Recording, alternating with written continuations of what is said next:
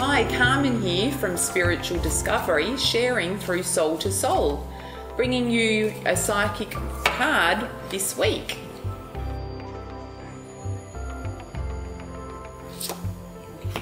The message is Eagle.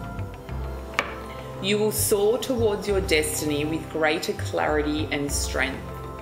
So, this card's talking about yes, you may be going through some struggles, and um, I'm picking up on that um, there's a lot of shifts happening this week in the universe, and they're wanting you to um, really remember that you're going to, once you gain clarity on your goals, because at times we can sort of lose sight to what's important. Um, so, they're wanting you to really manifest and be really clear on what it is you're wanting to achieve.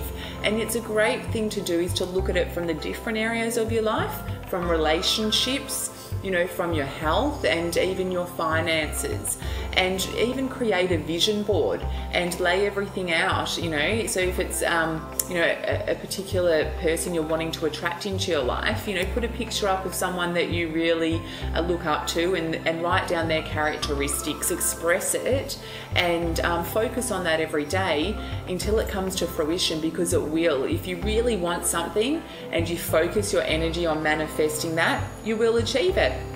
So, great card, the Eagle card this week, and I look forward to bringing your reading to you next week. Thank you.